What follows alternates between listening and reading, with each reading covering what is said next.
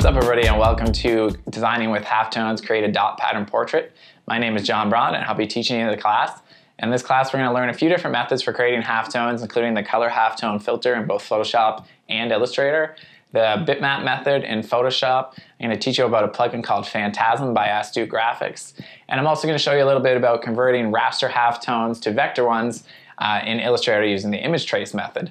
So there's a lot of different things to learn. Um, hopefully, if you're not familiar with Photoshop or if you're not familiar with Illustrator, you'll still be able to follow the class. And if you're familiar with both, I'm sure you'll love it. It's a little bit of an intermediate class, but if you haven't used them before, you probably can still follow it. If you don't have the program or the plugins, you can also easily download the trials for all of them, so that should be pretty easy.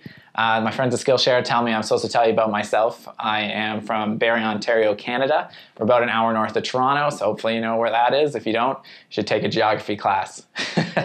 now, uh, I've been designing for seven years now. I'm a graphic designer. I also do some illustration, although I've only been doing that for a couple years now. And yeah, I went to school for graphic design uh, back in 2008 is when I graduated, a three-year course.